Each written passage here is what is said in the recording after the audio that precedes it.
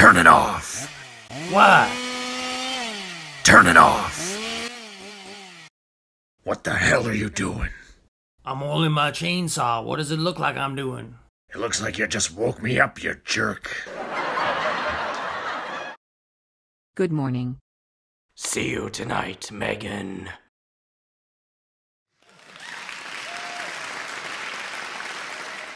She was with you? Yes, she spent the night. Willingly? Why do you find that so hard to believe? Because anyone we've ever brought home has never come home willingly. What can I say? Megan is different. Or naive? What are you talking about? We're just friends. yeah, friends that bump uglies together.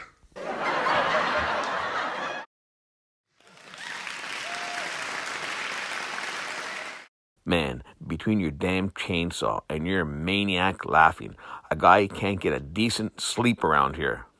Well, since you're awake, pale face, don't you want to hear about Jason's girlfriend? Jason has a girlfriend? That's right. Just how long have I been asleep for? Maybe she reminds him of his mother. Oh, really, Michael? You want to bring up my mom? The same guy who has been stalking and trying to kill his sister since 1978? Ha! Ha! Ha! He's got you there, Michael. Oh, you want to get into it, Krueger? Tell everyone how Father's Day works out for you every year. I got you there, Freddy. Oh, yeah. I'm not the one who thinks wearing a mask made of flesh makes you look menacing, because it makes you look stupid. You burnt piece of toast, I oughta. Get out of my face, Krueger. Oh, you'll know when I'm in your face, Mikey.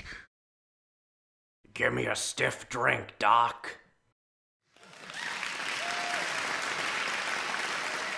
Hello, Jason.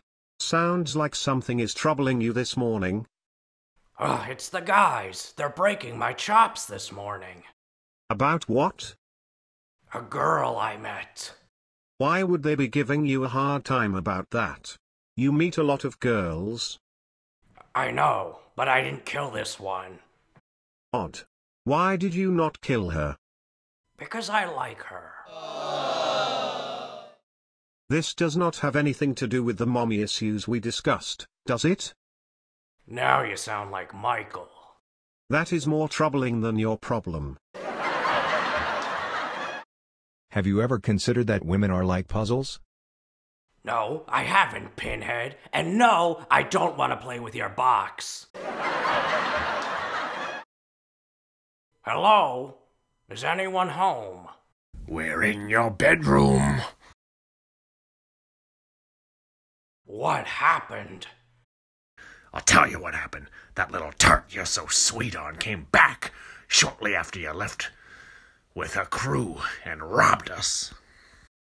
She robbed you? Yep, clean us out. Took the flat screen, audio equipment, and pretty much everything else. They took my chainsaw. My grandpappy gave me that. They also took my butcher knife. What kind of person does that? Or a man's favorite hat. I can't help but think that this is my fault. Oh, this is totally your fault.